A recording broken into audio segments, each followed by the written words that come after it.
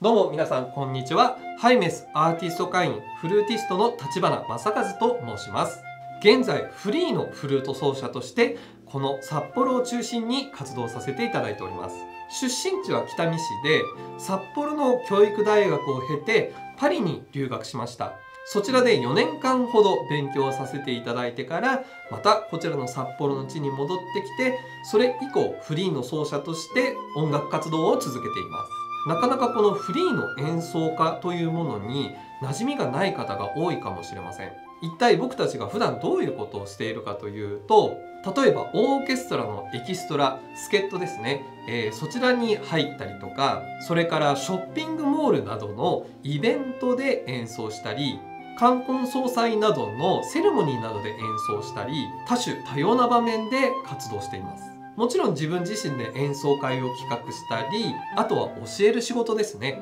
レッスンだとかあとは僕は管楽器ですので学校の吹奏楽団に教えに行ったりとか。特に僕は YouTube でもいろいろな動画をアップしています。例えばフルートのワンポイントレッスンであったり視聴者の皆様から頂いた質問に答える Q&A もちろん演奏の動画も上げています。最近は生放送の方にも力を入れていて週1回金曜日の8時から1時間ほどリアルタイムで演奏をお届けするというオンラインコンサートを続けています。もし興味があるという方は下の概要欄の方に僕の YouTube チャンネルのリンクを貼っておきますので是非そちらからチェックしていただければと思います。昨今のこのような状況で皆様にどうやって音楽をお届けするか音楽家一人一人が考えていかなければいけない時代になりました。そんな中でこの動画を配信するというのは音楽家のスキルとしても大きな力になると感じています。ハイメスという音楽団体がこのように YouTube チャンネルを開いたということも一つの大きな前進かと思います。僕もぜひこちらのハイメスのチャンネルで皆様に演奏をお届けしたりこのような活動をしていると知ってもらうきっかけになるよう頑張って配信してまいりたいと思います。ぜひ今後の活躍もご注目いただければと思います。さてここで僕の YouTube ライブコンサートから1曲演奏をお届けしたいと思います。ではどうぞ。